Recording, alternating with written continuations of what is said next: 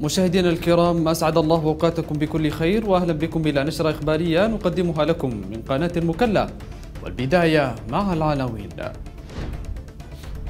مجلس الوزراء يناقش الجدول التنفيذي لخطة التدخلات العاجلة للحكومة في المسارين العسكري والاقتصادي.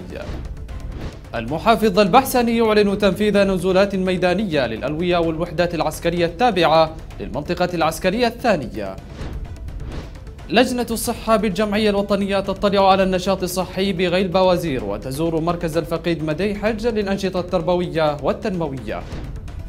دورة تدريبية حول إجراء المسوحات الميدانية لأسر الشهداء والجرحى بساحل حضرموت.